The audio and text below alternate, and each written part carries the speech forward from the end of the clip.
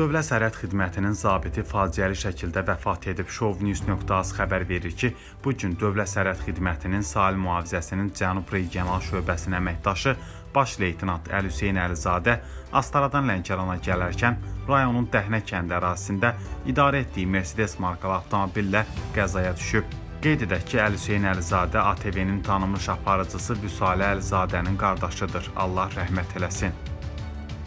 Balakən rayonunun Katex kəndindən olan Vətən müharibəsi şəhidi Yusif Təmirovun anası Məkkə Təmirova dünyasını dəyişib. Bu barədə Qafqaz İnfoya mərhumun yaxınları məlumat verib. Onların sözlərinə görə şəhid anası oğlunun vəfatından sonra psixoloji sarsıntı keçirib, vəziyyəti getdikcə pisləşib və vəfat edib. Qeyd edək ki, 25 yaşlı Yusif Təmirov 2-ci Qarabağ müharibəsinin iştirakçısı olub. O su qovşanının azad olunması uğrunda gedən döyüşlər zamanı şəhidlik zirvəsini ucalıb.